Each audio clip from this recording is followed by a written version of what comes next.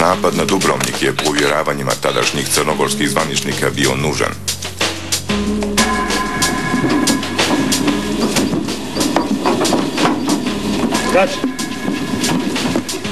Napadnimo ih prije nego oni krenu na nas, govorilo se tih dana.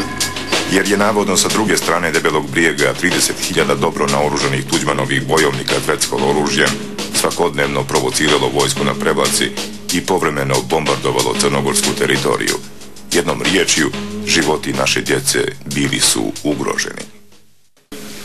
Svakodnevno su plasirane informacije da se e, sa onu stranu granice, dakle sa hrvatske teritorije, ukopavaju na hiljade hrvatskih vojnika u cilju pripreme za napad na crnogorsku teritoriju, te da sa hrvatske teritorije dolaze granate i padaju na crnogorsku teritoriju.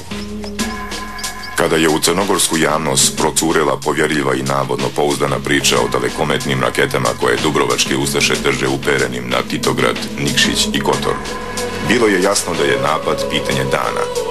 Napad na Dubrovnik, naravno. Jer za napad iz Dubrovnika na Crnu Goru nije u tom trenu postojalo ništa, ni vojske, ni oružja, niti želje. U to su se uvjerili crnogorski rezervisti već prvog dana nakon što su zakoračili na hrvatsko tle. Može? To, mikrofon. E, Gdje ste našli ove e, spravčice? Odgovara, To su seoske kuće. Sigurno. A šta je sve tu? Dinamit, kapisle, detonatori, sve ukupno. Hvala vam puno. Stvara za sve. E, Svakodnevne provokacije su bile i dole na jugu u Konavlima i ovamo sa ove strane Hercegovačke, a onda je ta protivnička strana uporno i svakodnevno optuživala nas.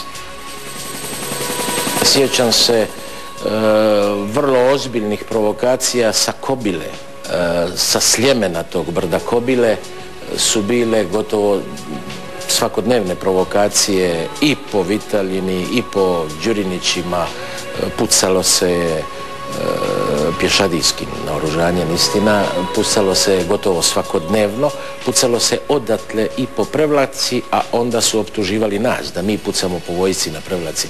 Niti smo pucali, niti je imao tko pucat, jer tamo nismo imali nikakve ni vojske, ni, ljudi naoružanih ovaj, nego su oni to namjerno činili samo zato da bi nas mogli optužiti da mi to činimo i da bi imali još jedan razlog više za krenut.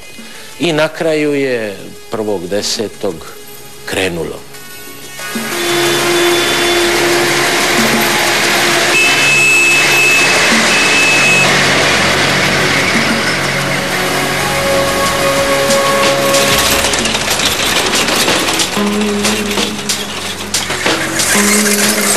Evo, evo 11 časova je i 5 minuta.